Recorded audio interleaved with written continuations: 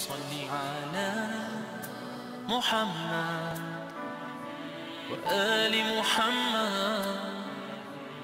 يا مسلمين صلوا عليه. اللهم صل على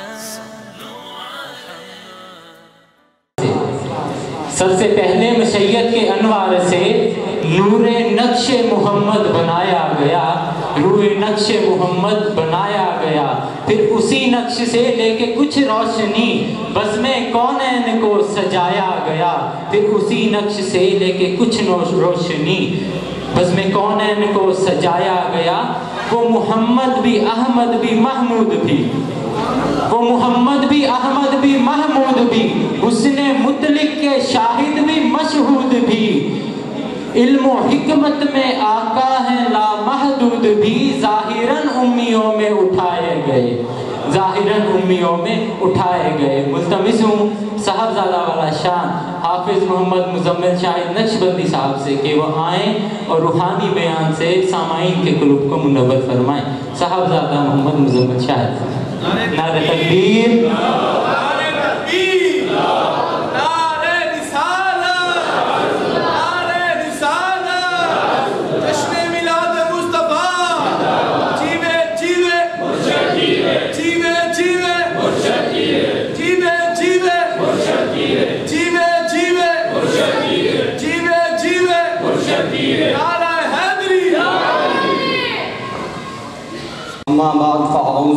من الشیطان الرجیم بسم اللہ الرحمن الرحیم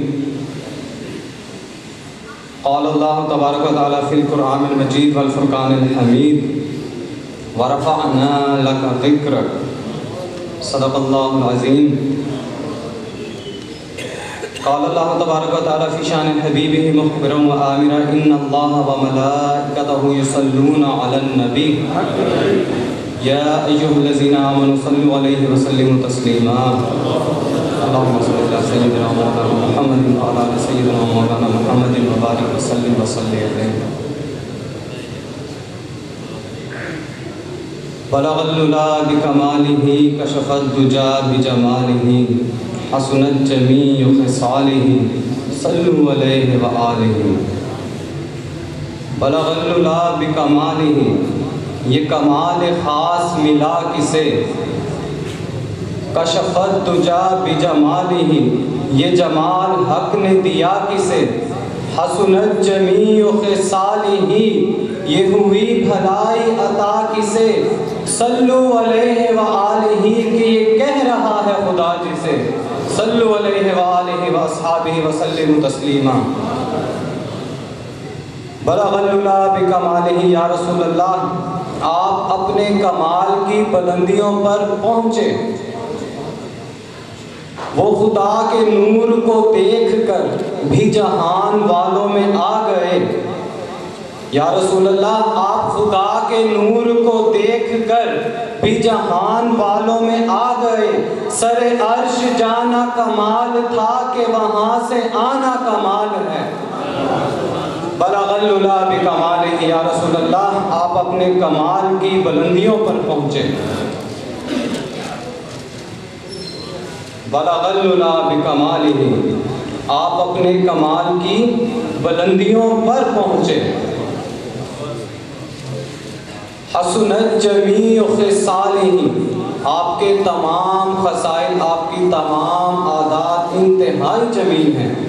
جس کی گواہی خود رب رحمان و کریم قرآن کریم میں ان الفاظ میں دیتا ہے، وَإِنَّكَ لَعَلَىٰ خُلُقٍ عَظِيمٍ۔ اور اے محبوب، بے شک آپ کے اخلاق کے عظیم مرتبے پر فائز ہیں۔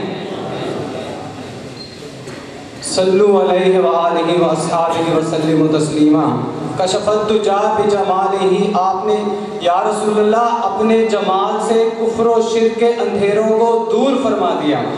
اور آپ کا ظاہری جمال کیسا ہے؟ سیدہ عائشہ فرماتی ہیں کہ ایک شب میں اپنے حجرہ مبارکہ میں سوئی تلاش کر رہی تھی۔ جو مجھ سے کھو گئی تھی اور دیے کی ناکافی روشنی میں میں اسے تلاش نہ کر سکی۔ اتنے میں رحمت دو جہاں احمد مجتبہ آقا مصطفیٰ صلی اللہ علیہ وآلہ وسلم تشریف لائے، تو آپ فرماتی ہیں کہ آپ کا چہرہ انور کی چہرہ مبارک کی رخ ودہا کی روشنی میں میں نے اس سوئی کو انتہائی آسانی سے تلاش کر لیا۔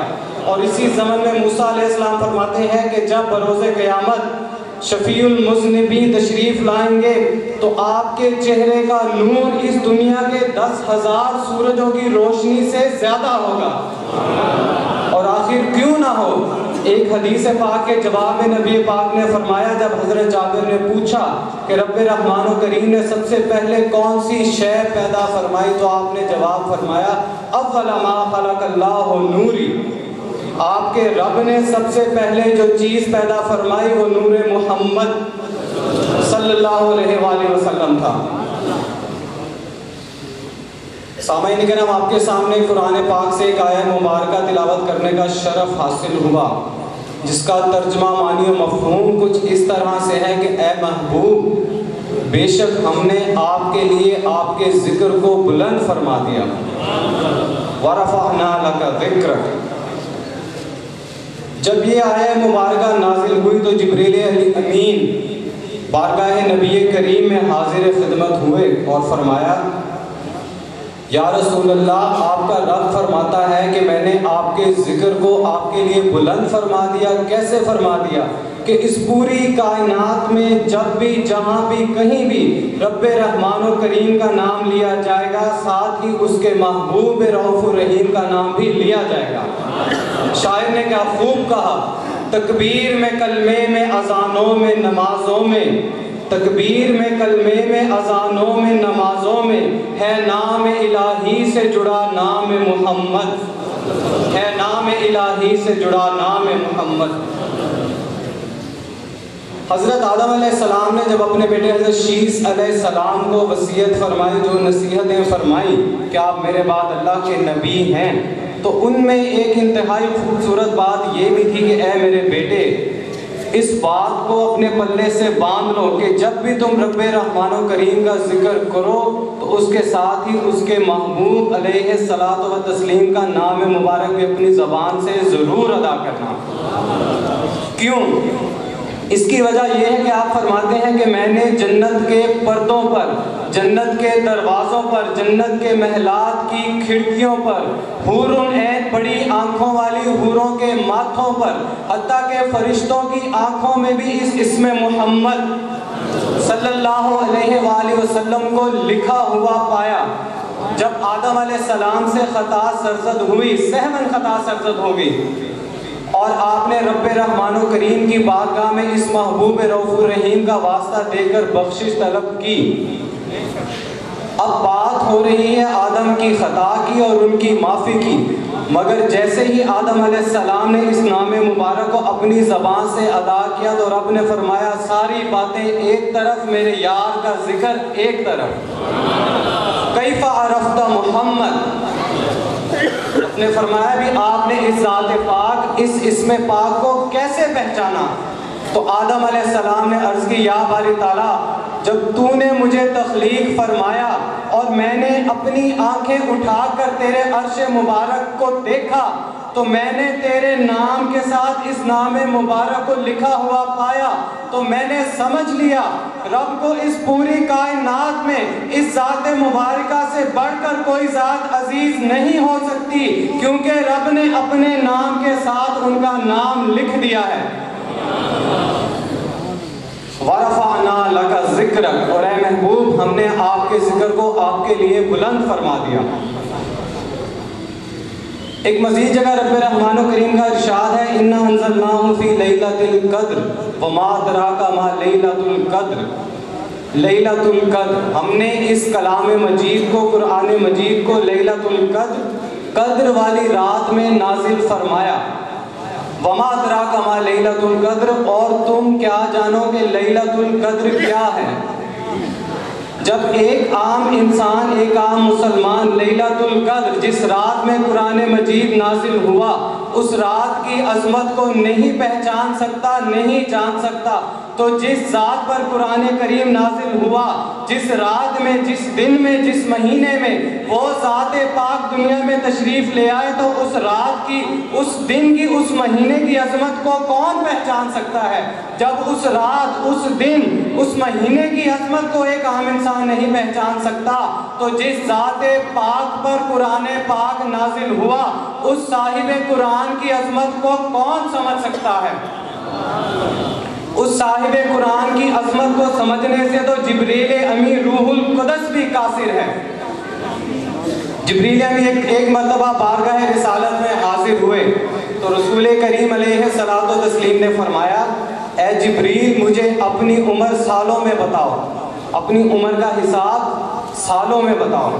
جبریل امین نے عرض کی یا رسول اللہ میں صحیح تو نہیں بتا سکتا۔ مگر ہاں اتنا بتا سکتا ہوں کہ چوتھے حجاب عظمت میں ایک نور ستر ہزار سال بعد چمکتا تھا۔ یا رسول اللہ، میں جبریل نے اس نور کو، اس ستارے کو بہتر ہزار مرتبہ دیکھا ہے، اس کا دیدار کیا ہے۔ نبی کریم علیہ صلاۃ و تسلیم نے فرمایا، جبریل، مجھے اپنے رب کی قسم، واللہ انا ذالک الکوکب۔ جبریل، وہ ستارہ، میں مصطفیٰ ہوں۔ جب جبریل امی بہتر ہزار مرتبہ اس نور کو، اس تارے کو دیکھ کر نہیں پہچان سکتے، ایک عام انسان لیلت القدر کو نہیں جان سکتا، نہیں پہچان سکتا، تو اس صاحب قرآن کی عظمت کا احاطہ کون کر سکتا ہے؟ شب معراج کے موقع پر جب جبریل امی بارگاہ رسالت وہاں میں حاضر ہوئے۔ سرکار نے فرمایا، جبریل، مجھے اپنا اصلی روح، اپنی اصل حقیقت دکھاؤ۔ جبریل امین نے فرمایا، یا رسول اللہ، میں اگر اپنے ان چھ سو پروں کو کھول دوں، تو اس زمین و آسمان میں میرے پر نہیں سما سکتے۔ مگر یہی جبریل امین جب بارگاہ رسالت معاب میں حاضر ہوتے ہیں شب معراج پر تو چھت میں سوراخ کر کے چھوٹے سے ہو کر حاضر ہوتے ہیں۔ کیوں؟ جب بڑوں کی بارگاہ میں جایا جائے تو اپنے آپ کو چھوٹا کر کے جاؤ۔ اور نبی پاک کے رخسار مبارک کو ہاتھ نہیں لگاتے، آپ کے قلموں کو بوسہ دے کر جگاتے ہیں کہ یا رسول اللہ، آپ کا رب آپ کی زیارت کا آپ سے ملنے کا مشتاق ہے۔ جب سرکار نے اس کی، جبریل، مجھے اپنی اصل حقیقت دکھاؤ۔ سرکار نے فرمایا، مجھے اپنی اصل حقیقت دکھاؤ، مجھے اپنا اصل روپ دکھاؤ۔ صدرات المنتہا پر جا کر جبریل امین نے اپنے پروں کو کھولا اور رسول کریم علیہ صلاۃ و تسلیم نے سارے کے سارے جبریل چھ سو پروں کے ساتھ ان کی اصل حقیقت کا مشاہدہ فرمایا۔ اس کے بعد جبریل نے عرض کی، یا رسول اللہ، اب مجھے بھی اپنا اصلی روپ اپنی اصل حقیقت سے آگاہ فرمائیے۔ اس موقع پر سرکار دو عالم صدرات المنتہا کے پار تشریف لے گئے۔ جبریل اگر ہمیں دیکھنا ہے تو اس حد سے آگے آ جاؤ۔ اس مقام پر جبریل نے خدمت اقدس میں عرض کی، یا رسول اللہ، اس مقام سے اگر ایک بار برابر بھی آگے بڑھا تو میرے پر جل جائیں گے۔ جبریل امی بھی سرکار دو عالم کی ذات کا، ان کی عظمت کا مشاہدہ کرنے سے، ان کی اصل حقیقت کو پہچاننے سے قاصر ہے۔ اس موقع پر سروات سرکار نے فرمایا ہے، جبریل، کیا تیری اپنے رب کی بارگاہ میں کوئی حاجت ہے؟ اگر حاجت ہے تو مجھے بتا۔ کیوں؟ جب سیدنا ابراہیم علیہ السلام کو آگ میں ڈالا جا رہا تھا تو یہی جبریل کریم آپ کی بارگاہ میں حاضر ہوئے۔ اور ان سے پوچھا کہ آپ کی اپنے رب کی بارگاہ میں کوئی حاجت ہے؟ آپ نے فرمایا، میرے رب کا میرے احوال سے آگاہ ہونا۔ میرے رب کو اس بات سے آگاہی ہے۔ یہی چیز مجھے اپنے رب کی بارگاہ میں سوال کرنے سے روکتی ہے۔ اور اس کا صلح رب رحمان و کریم نے ایسے دیا کہ اس آگ کو ابراہیم علیہ السلام کے لیے گلزار بنا دیا۔ اسی اسی لیے سرکار نے جبریل سے کہا صدرات المنتہا کے پار جا کر، اے جبریل، کیا تیری اپنے رب کی بارگاہ میں کوئی حاجت ہے؟ کیونکہ تو نے میرے باپ ابراہیم علیہ السلام کی خدمت میں عرض کی تھی کہ میں وہاں جا سکتا ہوں جہاں کوئی نبی، کوئی فرشتہ، کوئی رسول نہیں جا سکتا۔ آج دیکھ لے مصطفیٰ کریم کی ذات کس مقام پر موجود ہے۔ جہاں سے تو بال برابر بھی آگے بڑھے گا تو تیرے سارے کے سارے پر جل کر راکھ ہو جائیں گے۔ سرکار دو عالم کی عظمت کا احاطہ کرنے سے جبریل کی ذات بھی بالکل قاصر ہے۔ تو سرکار کی عظمت کو کن لوگوں نے پہچانا؟ بزرگان دین اس بات کا جواب ان الفاظ میں دیتے ہیں کہ سرکار دو عالم نور مجسم صلی اللہ علیہ وآلہ وسلم کو کسی نے پہچانا ہے؟ ان کی ذات کی حقیقت سے اگر کسی کی آشنائی ہے تو وہ اہل فقر ہیں۔ کسی نے سیدنا صدیق اکبر کی خدمت میں عرض کی، یا صدیق اکبر، ایک بات کا جواب دیجیے کہ آپ کو رب رحمان و کریم سے زیادہ محبت ہے یا نبی روف الرحیم سے؟ آپ نے بغیر کسی ہچکچاہٹ کے فوراً جواب دیا، رسول نبی کریم علیہ السلام و تسلیم سے کیوں؟ آپ نے فرمایا، رب کی ذات اس وقت بھی موجود تھی جب خانہ کعبہ میں تین سو ساٹھ بتوں کی پوجا ہوتی تھی۔ ہمیں رب کی ذات کا عرفان کس نے دیا؟ ہم نے رب کو کس کے وسیلے سے پہچانا؟ حضور نبی کریم کے وسیلے سے پہچانا ہے۔ اس لیے ہمارے لیے نبی کریم کی ذات زیادہ محبت کی حقدار ہے۔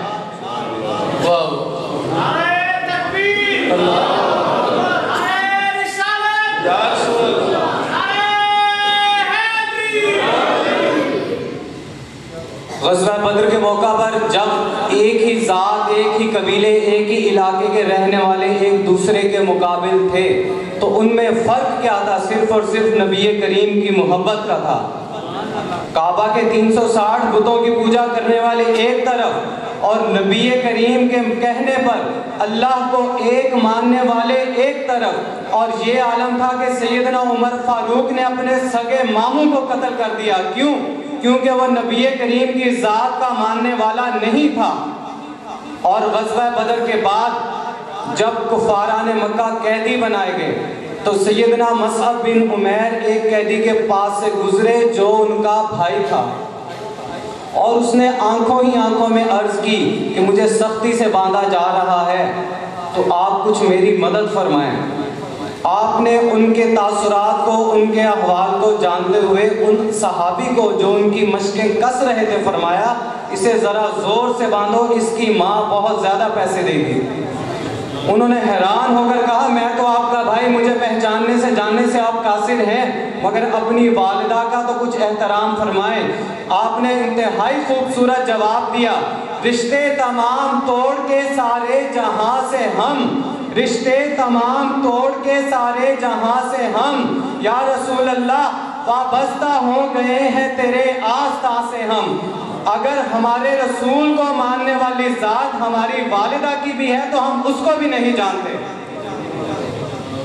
حضرت سیدنا سعد بن نبی وقاص کی والدہ نے ان سے مطالبہ کیا کہ نبی کریم کو ماننا چھوڑ دو، ان کے پاس جانا چھوڑ دو۔ اگر تم نے ایسا نہیں کیا تو میں کھانا پینا چھوڑ دوں گی، تین دن گزر گئے۔ کسی نے آ کر آپ کو بتلایا کہ آپ کی والدہ کا رنگ تو زرد ہو چکا ہے۔ موت کے قریب ہیں، آخری سانسیں لے رہی ہیں۔ آپ ان کے پاس تشریف لے گئے۔ والدہ نے دیکھتے ہی فرمایا، چھوڑ آئے ہو۔ نبی کریم کی غلامی چھوڑ آئے ہو۔ آپ نے وہاں پر انتہائی محبت بھرا جواب دیا کہ رب رحمان نے مجھے ایک والدہ عطا کی ہے۔ اللہ کی قسم، اگر میری ایسی سو مائیں ہوتی اور ان کا یہی مطالبہ ہوتا کہ اس ذات کی غلامی چھوڑ دو، تو میں ان سو کی باتوں پر عمل ہی نہ کرتا۔ کیوں؟ رب رحمان و کریم نے فرمایا، اے محبوب، جب ہم نے آپ کو محبوبیت کا تاج پہنایا ساری مخلوقات سے بڑھ کر فضیلت آپ کو دی۔ کیوں؟ کن تو کنزن مخفین، میں چھپا ہوا خزانہ تھا۔ جب میں نے چاہا، میں نے اپنی شان کے لائق اس بات کو جانا، اس بات کو سمجھا کہ مجھے پہچانا جائے۔ فَأَحْبَبْتُ أَنْ أُعْرِفَ فَخُلِقَ الْخَلْقِ۔ تو میں نے خلقت کی تخلیق کی۔ اول ما خلق اللہ نوری اور سب سے پہلے جو چیز تخلیق کی وہ نور محمد صلی اللہ علیہ وآلہ وسلم تھا۔ اس کے بعد رب رحمان و کریم نے فرمایا، میں نے پوری کائنات میں دیکھا تو آپ کے صحابہ کی جماعت سے بڑھ کر بہتر کسی جماعت کو نہ پایا۔ محبوب سب سے بہتر آپ کو تخلیق فرمایا اور ساری جماعتوں میں جس جماعت کو بڑھائی دی، جس کو بہتر سمجھا، وہ آپ کے صحابہ کی جماعت ہے۔ اور یہی اطاعت مصطفیٰ، محبت مصطفیٰ، عشق مصطفیٰ، حب مصطفیٰ کا ورثہ۔ نسل در نسل سینہ بہ سینہ منتقل ہوتا رہا۔ کن سے؟ انہی اولیاء کرام کی درگاہوں سے، انہی کی بارگاہوں سے، انہی کے مریدین سے، انہی کے خلفاء سے۔ اسی لیے رب رحمان و کریم نے قرآن پاک میں ارشاد فرمایا، یا ایوہ الذین آمنوا اتقوا اللہ وکونوا مع الصادقین۔ اے ایمان والو، اللہ سے ڈرو اور سچوں کے ساتھ ہو جاؤ۔ اور سچوں کے بارے میں مزید کیا فرمایا؟ انعم اللہ علیہم من النبیین والصدیقین والشہداء والصالحین۔ نبوت اور رسالت کا سلسلہ تو ذات محمد صلی اللہ علیہ وآلہ وسلم پر ختم ہو چکا ہے۔ شہید اس درجے پر تب فائز ہوگا جب وہ جامع شہادت نوش کرے گا۔ تو پیچھے پھر یہی ہستیاں، یہی صدیقین، یہی صالحین، یہی اولیاء کرام ہی رہ جاتے ہیں، جن کے راستے پر چلنے کی آپ ہر نماز میں رب سے دعا کرتے ہیں۔ اہدنا الصراط المستقیم، صراط الذین انعمت علیہم۔ مولا پاک ہمیں ان لوگوں کا راستہ دکھا۔ انعمت علیہم، جن پر تو نے اپنا انعام فرمایا۔ تو جو ان کے دامن اقدس سے وابستہ ہے، در حقیقت وہ یہی دعا کر رہا ہوتا ہے کہ ان مرشد کریمین، ان صالحین کی بارگاہ میں مجھے حاضر رکھ، اسی غلامی میں زندہ رکھ اور اسی غلامی میں موت دے۔ اب آپ ان کے ساتھ ان کی صحبت میں حاضر ہو جاتے ہیں۔ تو اس صحبت کا فائدہ کیا ہے؟ حضور سرکار شاہ نقشبند فرماتے ہیں کہ بیٹا، ہمارے پاس آتے جاتے رہو، ہماری خدمت میں حاضری دیتے رہو، ہماری زیارت کرتے رہو۔ اس کا کیا فائدہ ہے کہ جس طرح قالین بان، قالین بنانے والا قالین کو بنتا ہے، ایک کے بعد ایک ریشہ، ایک کے بعد ایک ریشہ لگاتا ہے اور آخر میں انتہائی خوبصورت قالین بن کر تیار ہو جاتا ہے۔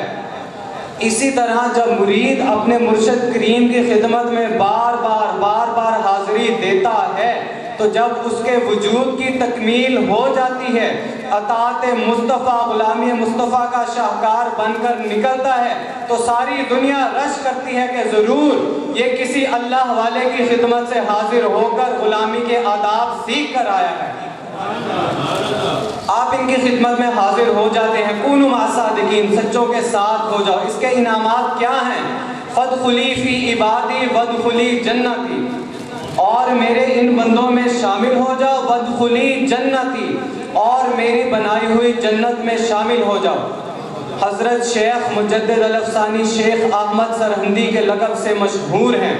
آپ اسی زمن میں فرماتے ہیں، آپ کی شان کیا ہے؟ جب بر صغیر میں اکبر بادشاہ نے دین اکبری کے نام سے فتنہ، ایک نیا دین ایجاد کیا، اپنے آپ کو سجدہ کروانا شروع کر دیا۔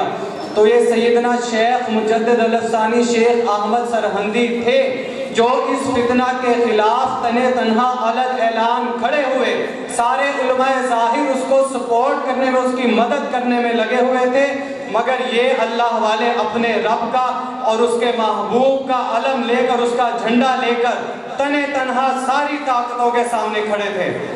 اقبال کن الفاظ میں انہیں خراج تحسین پیش کرتے ہیں؟ حاضر ہوا میں شیخ مجدد کی لحد پر۔ وہ خاک کے ہے زیر فلک مطلع انوار۔ وہ ہند میں سرمایہ ملت کا نگہبان۔ اللہ نے کیا جس کو بر وقت خبردار۔ سلسلہ نقشبندیہ کی ایک انتہائی عظیم شخصیت ہمارے بزرگوں کا ورثہ، آپ فدخلی فی عبادی ودخلی جنتی کے ضمن میں اسی آیا کی تشریح میں، تفسیر میں فرماتے ہیں کہ ہم قیامت تک، ہم قیامت تک اپنے سلسلہ میں داخل ہونے والے، سلسلہ عالیہ نقش بندیہ میں داخل ہونے والے ایک ایک مرید کو نام سے، شکل سے پہچانتے ہیں۔ اس کے نام، اس کی جائے پیدائش سے آگاہ ہیں۔ اور اس بات کی ضمانت دیتے ہیں کہ وہ جنت میں جائے گا۔ کیوں؟ فدخلی فی عبادی ودخلی جنتی۔ اور حضور سیدنا شیخ عبد الخالق غجدوانی۔ سلسلہ عالیہ نقش بندیہ کی انتہائی عظیم شخصیت۔ آپ اس آیت کی تفسیر میں کیا فرماتے ہیں؟ سماعت فرمائیے گا۔ نعرہ تکبیر۔ نعرہ رسالت۔ نعرہ رسالت۔ سرکار کی آمد۔ حضور کی آمد۔ حضور کی آمد۔ حضور کی آمد۔ نسبت آخرت میں دنیا میں فائدہ ملے گا۔ لوگ اللہ والوں کے پاس کیوں جاتے ہیں؟ بیت ہونا کیوں ضروری ہے؟ ان کی خدمت میں حاضری دینا اسی لیے ضروری ہے۔ فدخلی فی عبادی ودخلی جنتی۔ شیخ مجدد الفسانی شیخ احمد سرہندی کے ارشادات آپ نے ملاحظہ فرمائے۔ حضور سیدنا شیخ عبد الخالق غجدوانی اسی ضمن میں فرماتے ہیں کہ ہماری محفل میں حاضر ہونے والا، بیٹھنے والا شخص تو ایک طرف۔ جو مکھی حشرات الارض میں سے اس کے جسم پر بیٹھ جائے، وہاں سے اٹھ کر دوسرے کے جسم پر بیٹھ جائے، قریب سے گزرنے والے تیسرے کے جسم پر بیٹھ جائے، تو جب تک وہ تیسرا جنت میں نہیں جائے گا، ہم چین سے نہیں بیٹھیں گے۔ فدخلی فی عبادی، میرے بندوں میں شامل ہو جاؤ۔ فدخلی جنتی۔ اور یہ نسبت ہے کیا؟ حضور سیدنا حضرت باش بستامی۔ سلسلہ عالیہ کی ایک اور عظیم شخصیت۔ آپ کی خدمت اقدس میں ایک شخص حاضر ہوا۔ آپ نے کوئی کلام نہیں فرمایا۔ اٹھ کر باہر چلا گیا۔ پوچھنے والوں، سننے والوں سے کہنے لگا، حضرت نے تو کلام ہی نہیں فرمایا، مجھے تو کوئی فائدہ ہی نہیں ہوا۔ جب یہ بات مریدین نے آپ کی خدمت اقدس میں عرض کی تو آپ نے کیا ایمان افروز جواب دیا؟ آپ نے فرمایا جسے ہماری خاموشی سے، جسے ہماری خاموشی سے فائدہ نہیں ہوا، اسے ہمارے کلام سے بھی فائدہ نہیں ہوگا۔ کیوں؟ جب اولیاء کرام تشریف فرما ہیں، نور الہی، غلامی محمد صلی اللہ علیہ وآلہ وسلم کا تاج ان کے سروں پر رکھا ہوا ہے۔ ان کے وجود سے روحانیت کی وہ شعائیں پھوٹتی ہیں کہ قریب بیٹھنے والے کے دل کو اگر وہ آلائشات دنیاوی سے، خواہشات دنیاوی سے آزاد ہو کر آیا ہے، اپنی گرفت میں لے لیتی ہیں، ان کے وجود کی برکت سے وہ بندہ غلامی رسول میں پہنچ جاتا ہے۔ مزید ارشاد فرمایا، ایک شخص آپ کی خدمت اقدس میں حاضر ہوا اور عرض کی حضور مجھے اپنی پوستین آپ نے جو لباس پہنا ہوا ہے، اس کا ٹکڑا عنایت فرمائیے۔ آپ نے جواب دیا، میری پوستین میرے لباس کا ٹکڑا تو کیا؟ میری کھال کا ٹکڑا بھی۔ اس وقت تک تجھے فائدہ نہیں دے سکتا۔ جب تک تیرے اعمال میرے اعمال جیسے نہ ہو جائے، میرے احکامات، میری تعلیمات پر تو عمل نہ کرے۔ یہی اولیاء کرام ہے جو وجود کو نفس و شیطان کی غلامی سے نکال کر اللہ اور اس کے رسول کی غلامی میں پہنچا دیتے ہیں اور پھر دیکھنے والا بھی انہیں پہچانے بغیر، انہیں سمجھے بغیر، ان کی خدمت میں حاضر ہوئے بغیر نہیں رہ سکتا۔ کیوں؟ کیونکہ غلامی رسول کا تاج ان کے سروں پر فروزہ ہے۔ نسبت کے فوائد، بیت کا ضرورت، اس کا ثبوت آپ نے ملاحظہ فرمایا، قرآن کریم میں رب کے الفاظ ہیں۔ ان الذین یبایعونک انما یبایعون اللہ، ید اللہ فوق ایدیہ محبوب۔ جو لوگ آپ کی خدمت میں حاضر ہوتے ہیں، آپ کی بیعت کرتے ہیں۔ انما یبایعون اللہ بے شک وہ رب رحمان و کریم کی بیعت کرتے ہیں۔ ید اللہ فوق ایدیہم۔ ید اللہ اللہ کا ہاتھ ان کے ہاتھوں کے اوپر ہے۔ فوق ایدیہم۔ من یطیع الرسول فقط اطاع اللہ۔ جس نے رسول کی اطاعت کی، اس نے رب کی اطاعت کی۔ وما رمیت از رمیت ولیکن اللہ رما محبوب جب آپ نے وہ کنکریاں اپنے دستقدس سے پھینکی غزوہ بدر کے موقع پر، وما رمیت وہ آپ نے نہیں پھینکی ان اللہ رما، بے شک وہ اللہ تعالیٰ نے ہی پھینکی ہیں۔ اور مزید فرمایا، قل ان کنتم تحبون اللہ فاتبعونی یحببکم اللہ محبوب فرما دیجیے ان کنتم تحبون اللہ اگر تم رب سے محبت کا تو حبون اللہ، رب کی محبت کا دعویٰ کرتے ہو تو اس کی دلیل کیا ہے؟ اس کی دلیل صرف اور صرف ایک ہی ہے فتبعونی اس ذات کی اتباع کرو، یحببکم اللہ۔ تو رب رحمان و کریم بھی تم سے محبت فرمائے گا۔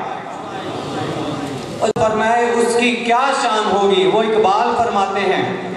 خودی کو کر بلند اتنا کہ ہر تقدیر سے پہلے خدا بندے سے خود پوچھے، بتا تیری رضا کیا ہے؟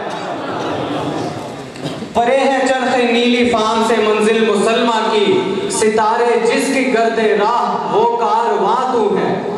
اب ان اللہ والوں کی پہچان کیا ہے؟ ان کی نشانیاں کیا ہیں؟